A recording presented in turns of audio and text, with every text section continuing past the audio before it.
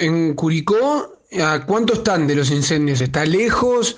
Em, vos decías, eh, aquí no tenemos incendios, pero sí hay mucho humo en la ciudad. Esto se está dando ya desde hace unos, unos días, ¿no? El más cerca está más o menos a una hora, una hora y cuarto. Después una hora y media, dos horas, porque de ahí para el lado de la playa es donde está, donde está la mayor parte del incendio y donde, donde más se incendió. Eh, pero bueno, estamos cerca y es inevitable que venga todo el humo. Y realmente hemos, ha estado toda la semana muy complicado acá en la zona. Pero yo creo que de a poco, con la ayuda que están recibiendo, van a ir normalizando todo y apagando todo, todos los incendios, que es el deseo de toda la gente. El mundo del fútbol, digamos, se ha mostrado muy solidario, ¿no? Vimos que, ustedes en el último partido hicieron una colecta, que inclusive algunos jugadores se involucraron también en, dar una mano, en, llevar eso que, recolectaron y a su vez, bueno, se suspendió la fecha del fin de semana este que pasó.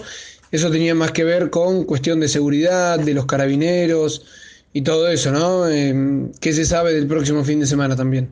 Eh, Chile es un país que en los últimos años ha sufrido varias catástrofes, tsunami, terremoto, ahora los incendios y creo que cuando pasan estas cosas la gente eh, se solidariza un montón con el, con el prójimo, se ayudan entre sí, sea porque tengan familiares involucrados, no, va más allá de eso.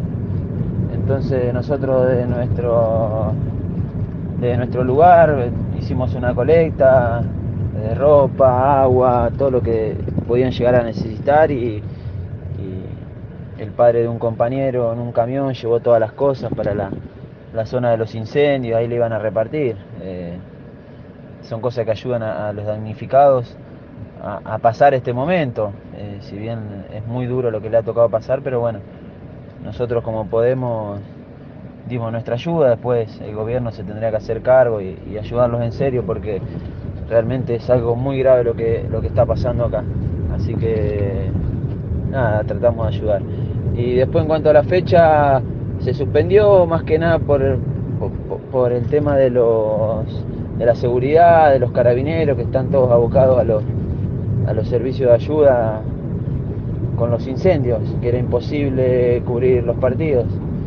Y ahora el, gremio de futbolistas está pidiendo también suspender la fecha nuevamente en solidaridad a, la gente damnificada y también por el tema de los carabineros. Así que están viendo y en los próximos días resolverán si se jugará la fecha o no.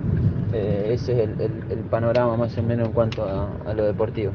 Sí, con lo deportivo, vos venís con una lesión, ¿cómo, cómo venís con ese tema? Mm, sabemos que una lesión en, en un pie que por estos días se está recuperando.